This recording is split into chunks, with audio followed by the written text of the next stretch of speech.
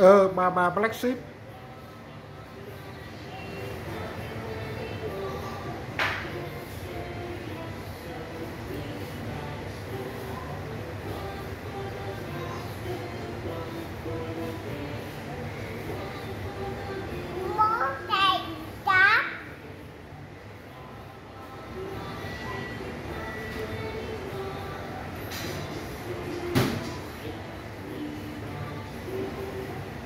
nào quay bên này để chảy ra